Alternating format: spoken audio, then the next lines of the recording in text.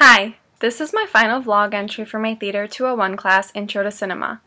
I wanted to talk about the 2005 short film Bartholomew's Song, written and directed by Destin Cretton and Lowell Frank. A quick summary of Bartholomew's Song is Bartholomew 467 is just like all the other workers living in a society with strict repetition. His days are the same every day until he comes across a mysterious music box. He then makes a decision to explore this new artifact, which he knows he shouldn't do. This new music box leads to more explorations, eventually leading him to kill the girl worker that was in charge of the voice over the speakers that gave all the other workers directions. At the end of the film, the audience sees that he might have influenced one of his other workers, and that anything that is considered different is defective and replaced, even people, forcing their society to stay the same. During this vlog entry, I wanted to focus on the sound and overall mise en scène of this short film. I will first discuss the sound. The sound throughout Bartholomew's song helps reiterate to the audience the repetition of the story. The audience can hear when the workers cut the foam cubes and also when they are walking in line, they are all pretty much in sync with each other.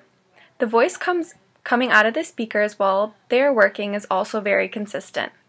The prominent thing that becomes inconsistent during this short film is when Bartholomew 467 finds a sound box.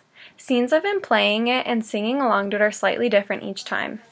The short film, the sound in this short film is a very important aspect to help get across the story and the way society works to the audience.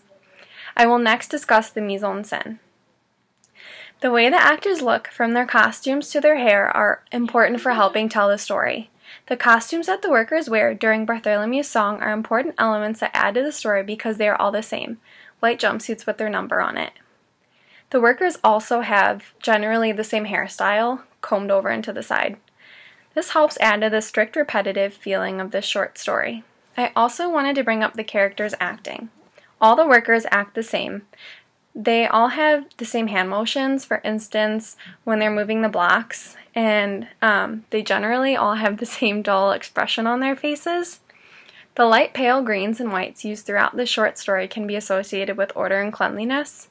And the setting of the story is very, very important to take note of. Everything looks remotely the same and is very simple. If one takes a look at every time the workers are in the working room or even when they are outside walking to get there, the scenes are shot from the same angle. I also found it very interesting how there are no really crazy camera angle shots. The scenes are either shown from far away or they're shown from up close, having um, the audience's eye centered on what's going on or what they should be focusing on once again going along with the repetitive theme. As you can see, repetition is a major component of the short film. Repetition, according to Barsam and Moha Monahan's book, sorry if I pronounced that wrong, um, looking at movies 5th edition from 2016, the number of times that a story element occurs in a plot, repetition is also also signals that a particular event is a noteworthy meaning or significance. And that kind of wraps up my final vlog um, about the short film Bartholomew's Song. I hope you enjoyed watching. Thanks.